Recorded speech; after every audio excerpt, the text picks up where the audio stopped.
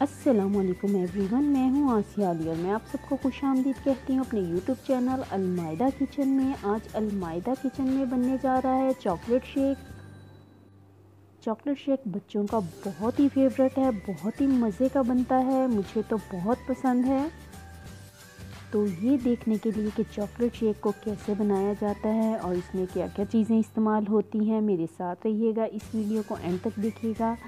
तो आइए आज की रेसिपी स्टार्ट करते हैं और देखते हैं कि इसके लिए हमें क्या क्या चीज़ें चाहिए। चॉकलेट शेक बनाने के लिए कुछ चीज़ें तो हमारे किचन में ही मौजूद होती हैं और अगर कोई चीज़ ना भी आपके पास अवेलेबल हो तो आप उस चीज़ को स्किप भी कर सकते हैं। सो टेंशन लेने की ज़रूरत नहीं है, बस चॉकलेट का होना बहुत ज़रूरी है इस शेक के लिए। तो आइए देखते हैं हमें सबसे पहले क्या चीज़ चाहिए।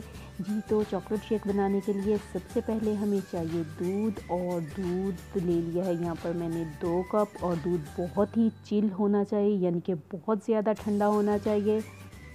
और आप दूध को अपनी ज़रूरत के मुताबिक भी ले सकते हैं। जितनी क्वांटिटी आपको चाहिए दूध की, आप उतना दूध ले लीजिएगा। और दूध के बाद जो चीज़ हमें चाहिए वो है चॉकलेट चिप। और चॉकलेट चिप ले ली है मैंने फोर टेबल स्पून अगर आपके पास चॉकलेट चिप नहीं है तो आप इसकी जगह पर चॉकलेट भी डाल सकते हैं। मार्केट से जो भी चॉकलेट बच्चे खाते हैं, आप कोई भी यूज़ कर सकते हैं।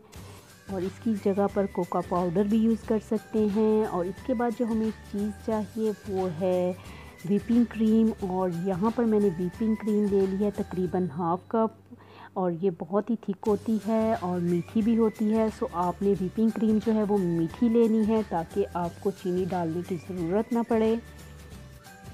और व्हिपिंग क्रीम के बाद जो चीज़ हमें चाहिए वो है आइसक्रीम जी तो आप यहाँ पर आइसक्रीम देख रहे हैं और देख रहे हैं कि ये मेल्ट हो गई है। जी बिल्कुल, मैंने बहुत देर पहले इसको निकाल के फ्रिज से बाहर रख दिया था और भूल गई थी, सो ये मेल्ट हो गई।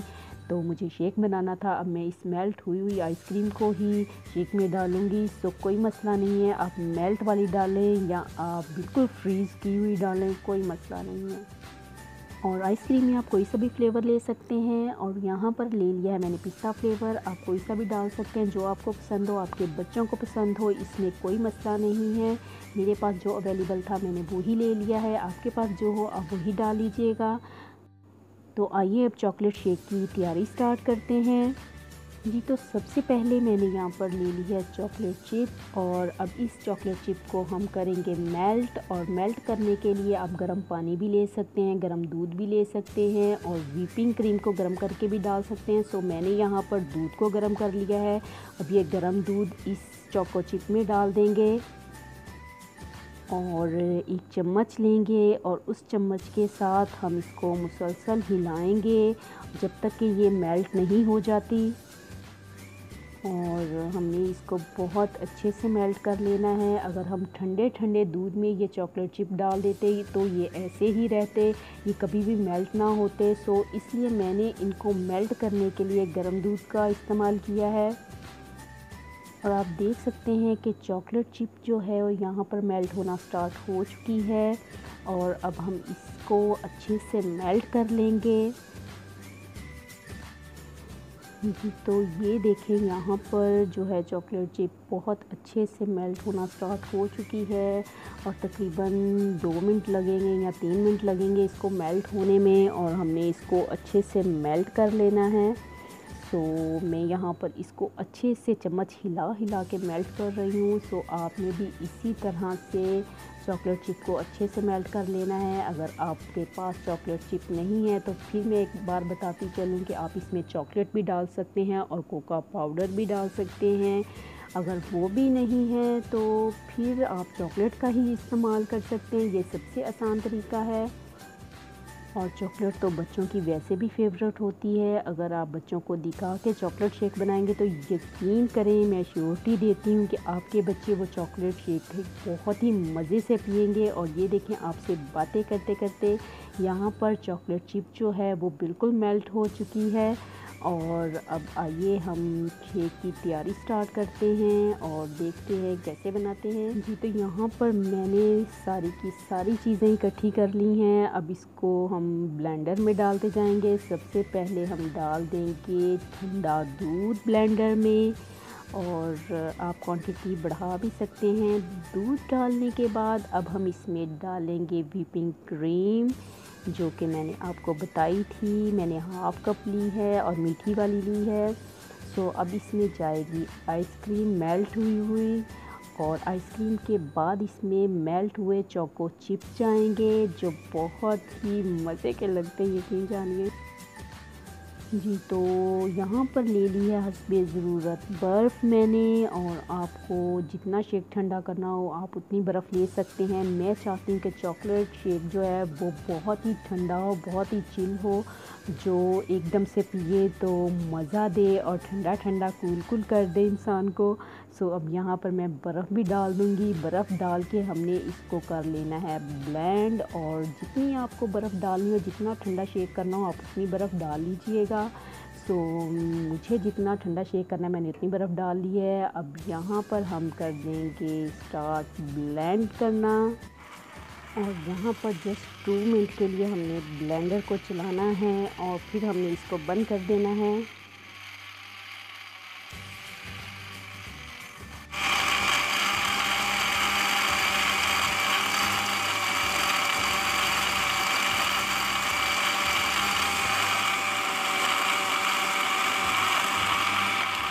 जी तो यहाँ पर शेक बन चुका है। और यहाँ पर ले लिया है मैंने एक गिलास। अब करना है इस गिलास को हमने चॉकलेट सिरप के साथ डेकोरेट। और देखिए मैं कैसे करती हूँ चॉकलेट सिरप के साथ इस गिलास को डेकोरेट। आपने भी ऐसे कर लेना है। यकीन जानिए बच्चों को बहुत ही पसंद आती है डेकोरेट की हुई चीज़।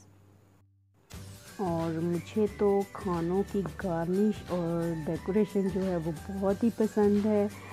सो इसीलिए मैं चाहती हूँ कि ज़्यादा से ज़्यादा अपने खानों को ड्रिंक्स को डेकोरेट करूँ और अब यहाँ पर डाल देंगे इस गिलास में शेक तो शेक डालने के बाद अब मैं आपको गिलास साइड से दिखाऊँगी और देखिए इसकी जो डेकोरेशन है चॉकलेट के साथ, और बहुत ही अमेजिंग लग रही है, बहुत ही ज़बरदस्त लग रही है, यकीन जानिए, बहुत ही मज़े का लग रहा है यमी लग रहा है।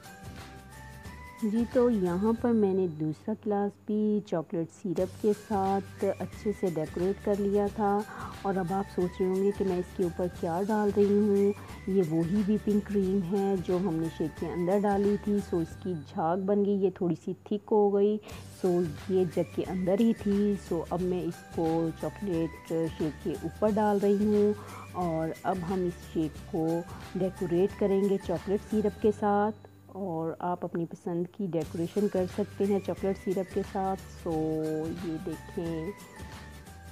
और सच बताइएगा कि ये चॉकलेट शेक आपको कैसा लगा? मज़े का लगा पसंद आया कि नहीं आया सो मुझे कमेंट में लाजमी बताइएगा। और यहाँ दो गिलास तैयार करते करते मैंने तीसरा गिलास भी रेडी कर लिया था तीन बच्चों के लिए। सो वो कह रहे थे कि हम पियेंगे और हम भी वीडियो में आएँगे तो आगे चल के मैं उनके साथ आपकी मुलाकात करवाती हूँ कि वो कौन कौन है जो आज की वीडियो में है। तो यहाँ पर आपके सामने दो गिलास रेडी हैं चॉकलेट शेक के, जो कि मैं चॉकलेट सिरप से डेकोरेट कर चुकी हूँ। तो आइए अब चलते हैं, बच्चों को देते हैं ये शेक पीने के लिए। और आइए मिलिए मेरे घर के बाकी बच्चों के साथ। आयशा से तो आप मिल ही चुके हैं। किसके किचन में वेलकम मोहम्मद? मोहम्मद के किचन में वेलकम आप सबको। मोहम्मद आप सबको वेलकम कर रहा है। जी तो मैंने जो शेक बनाया था, चॉकलेट शेक, बच्चे इसको बहुत शौक से पीते हैं। और देखिएगा ये आपके सामने कैसे मज़े से पीते हैं। चलो बच्चों, जल्दी से उठा के पी जाओ। ये देखें, ये आपके सामने ही पी रहे हैं सब। और बच्चों को बहुत पसंद आ रहा है। मोहम्मद कैसा लगा आपको ये वाला शेक? यमी यमी लगा है। आप और पियोगे? तो जल्दी से पी के दिखाओ ना कैसे पीते हैं जल्दी से। एक और कतरा डाल दूँ? किसका डाल दूँ चॉकलेट का? अच्छा चलो ठीक है मैं चॉकलेट सिरप और डाल देती हूँ। अच्छा चॉकलेट वाला शेक कैसा लगा आपको? यमी लगा आपको भी यमी लगा और मोहम्मद को कैसा लगा? अच्छा आसिया फूफो जो है वो मोहम्मद आप बताओ किचन में कैसे बोलती है? मेरे किचन में वेलकम ये बकायदा सारा दिन माशाल्लाह करते रहते हैं। आयशा आप बताओ आसिया खाला कैसे बोलती है? मेरे किचन में वेलकम और और क्या बोलती है? जल्दी से बताओ।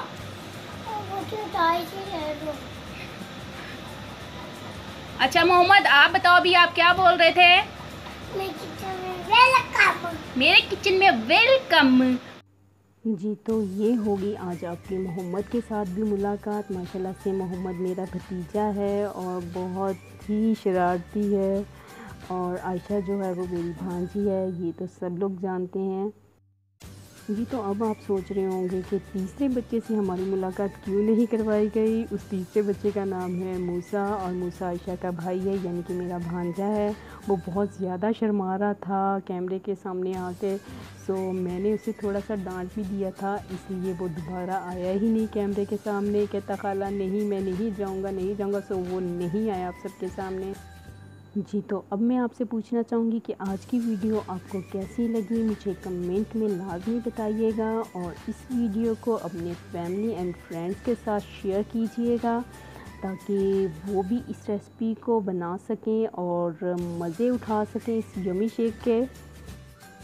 और जो लोग मेरे चैनल पर न्यू आने वाले हैं, मैं उनसे यही कहना चाहूँगी कि मेरे चैनल को सब्सक्राइब करें ताकि आने वाली वीडियो के तमाम नोटिफिकेशन आप तक पहुँच सके और ऐसे आप मेरी तमाम वीडियोस देख सको।